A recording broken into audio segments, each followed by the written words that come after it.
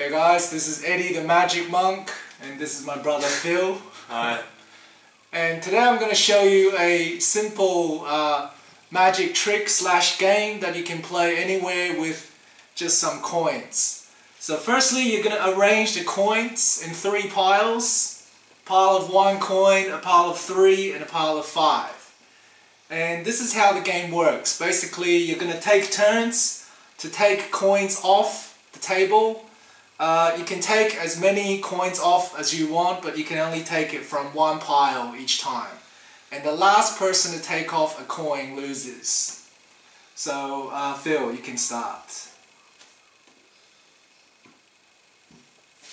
Okay, so now it's my turn. Alright, it's your go. The last person to take off a coin loses. Alright, so now it's my go.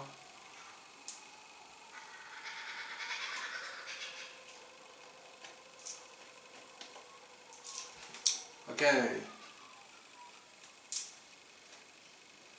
So Phil, Phil has just lost the game.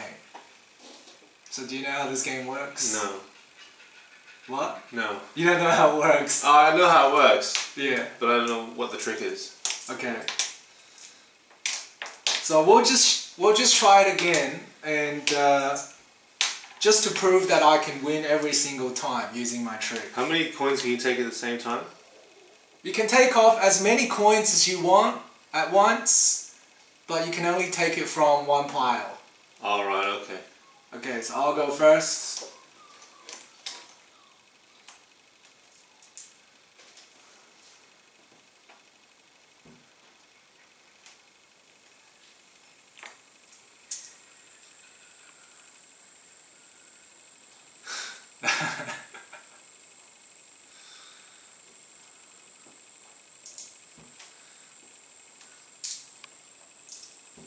Okay, so Phil has lost again. Alright.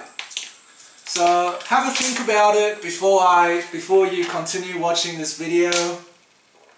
Because now I'm going to reveal to you the secret. Alright, the secret is very simple. Firstly, you have to be the one to start. And if you take off three coins from the pile with five, then there is no way that you can lose. Doesn't matter what the other person does. So Phil, it's your turn.